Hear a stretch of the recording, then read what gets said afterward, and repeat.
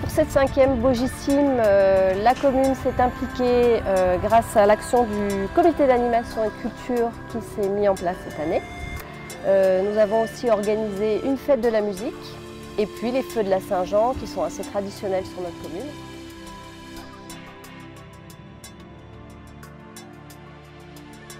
Comme chaque année depuis 5 ans maintenant, le comité départemental FFME propose euh, aussi bien aux licenciés qu'aux non licenciés, à tous ceux qui ont envie de découvrir les activités de la fédération, le canyon, la via ferrata, l'escalade, l'escalade en grande voie, la randonnée technique. Et puis depuis trois ans, le comité avait eu l'idée de mettre une touche particulière à ces rendez-vous du loisir des activités fédérales en mixant l'événement avec une pratique de- d'escalade de, haut niveau. La contrainte était d'avoir voilà, entre 10 et 18 ans et d'être euh, capable de grimper du 8A en falaise.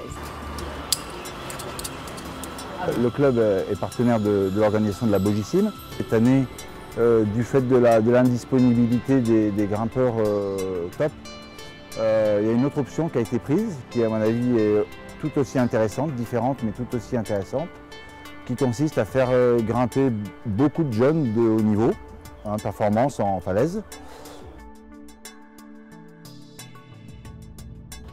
Ce que j'aime, euh, bah, c'est qu'on est dans, la nature, on est libre, euh, on n'est pas enfermé dans une salle. Il fait beau, euh, on est avec les potes, on discute, on, rigole voilà. La SAE et la falaise, c'est complètement différent. Le- la SAE, on voit tout de suite les prises. La, lecture en falaise, c'est- complètement différent. En plus, ça, fait vraiment, ça fait progresser différemment et en tout cas, je trouve que les deux, ils se complètent bien. Qu'il faut être fort euh, dans l'un pour être fort dans l'autre.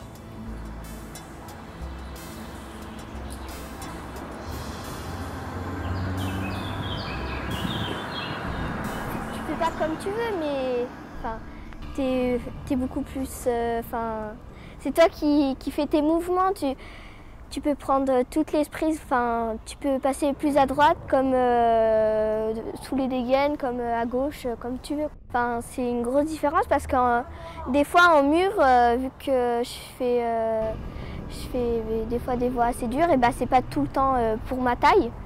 Alors qu'en falaise, bah, je fais des voies dures, mais je peux trouver des petites prises euh, par-ci par-là. Je suis pas obligée de prendre, euh, enfin, de faire tout le temps les grands moves euh, de, de la voie.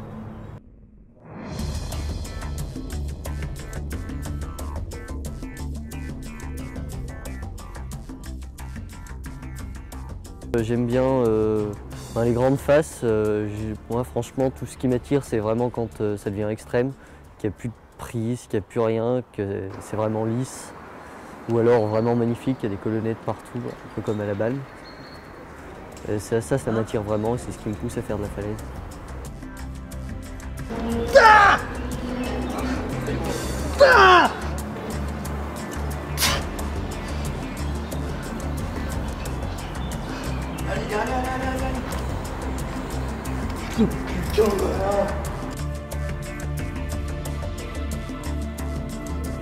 Ouais, la- les, points positifs de la, la falaise, c'est que quand tu changes de falaise, bah, tu changes de style complètement. Alors qu'en SAE, bah, tu changes de, mur, mais euh, c'est quand même un peu le même style avec les mêmes préhensions. Alors que quand tu changes de falaise ou même euh, de voie sur, sur les mêmes falaises, tu changes complètement de style et tu varies beaucoup, beaucoup. Ça, c'est cool.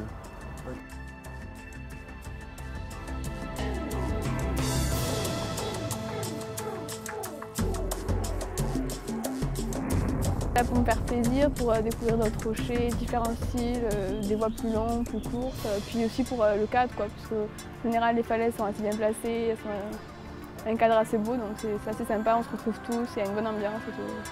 C'est sympa. Là, au niveau technique, c'est en falaise en général, c'est assez technique. Bon, à part dans les gros dévers, mais ça reste quand même assez technique. Donc pour, la- pour les compètes, c'est plutôt positif. Et puis on a une variété de mouvements qu'on peut finalement retrouver en compète et qu'on ne s'entend pas à trouver, donc c'est assez, sympa, ouais, c'est varié et puis ça nous apporte pas mal pour les compètes, je pense.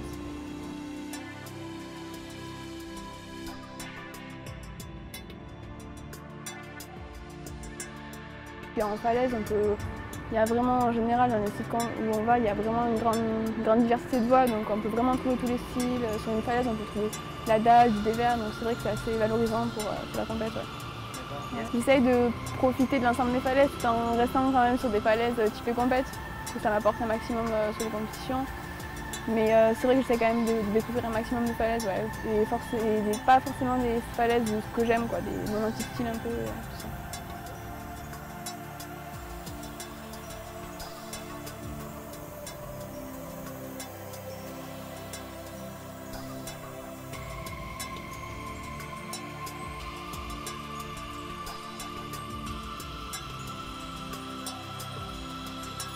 Moi, je préfère, enfin, je préfère faire un peu de, plus de falaise que de mur. Mais...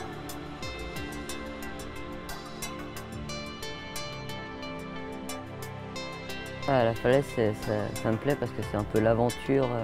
faut chercher les, les prises. Pas...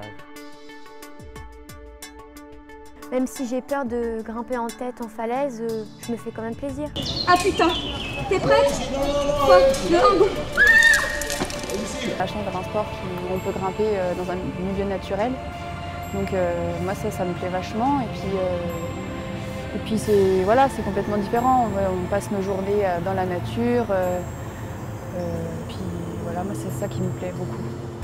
Ben, c'est pas une voie qui est déjà tracée, c'est toi qui fais ton chemin dans la voie et c'est pas quelqu'un, c'est pas quelqu'un qui a tracé ton chemin peut trouver des méthodes euh, qu'on utilise par exemple en falaise mais qu'on ne fait pas spécialement en salle. Par exemple pour la pose des pieds, euh, la technique, etc. Ça c'est très important je pense pour, euh, pour la compétition.